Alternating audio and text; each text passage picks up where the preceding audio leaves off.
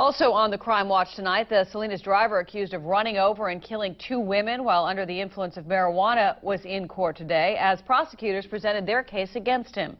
Francisco Miranda is accused of multiple felonies, including two counts of murder.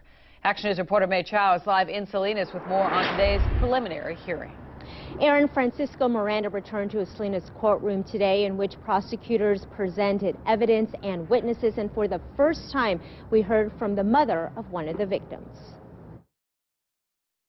Holding back tears, Lorena Rascon says all she wants is justice for her daughter. And for, for me and for everybody. 24-year-old Linda Rascon Williams was killed last November in front of Natividad Medical Center where she worked as a security guard. She'd ran out to the street to assist 57-year-old Cynthia Lane who'd fallen to the ground. Both were hit and killed by a passing car. Francisco Miranda was behind the wheel and police and prosecutors say Miranda's impaired and reckless driving resulted in the deaths of the two women.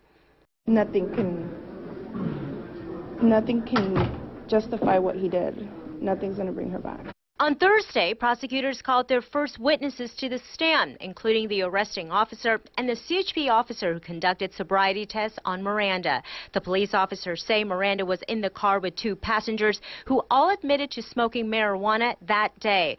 And Miranda even told officers he, quote, went on a weed binge, smoking joint after joint the day before. One passenger said they knew Miranda's license was suspended, but he, quote, drove fine and just didn't care.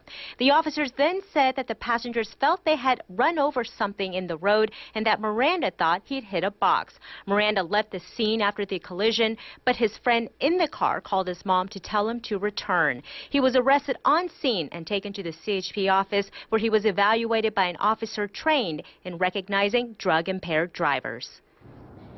And that CHP officer testified today that he put he administered several sobriety tests on Francisco Miranda and that he failed balance tests and had indicators, clinical indicators that he was under the influence of drugs, which in this case was marijuana. Aaron. All right, May, thank you. Uh, Miranda is charged with six felonies, including two counts of second-degree murder, two counts of gross vehicular manslaughter while intoxicated, and hit and run resulting in death or injury.